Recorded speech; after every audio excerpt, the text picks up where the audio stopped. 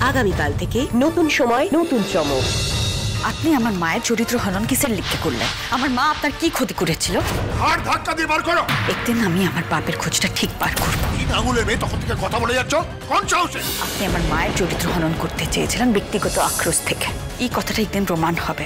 সঠিক খবর পরিবেশন করে আমি একদিন আপনার কাগজটাকে পথে লাগাবো নতুন সময় নতুন চমক। কোরা পাখি। আগামীকাল থেকে সোম থেকে শুক্র রাত সাড়ে নটায়। স্টার জলসায় ও ডিজনি প্লাস হটস্টারে।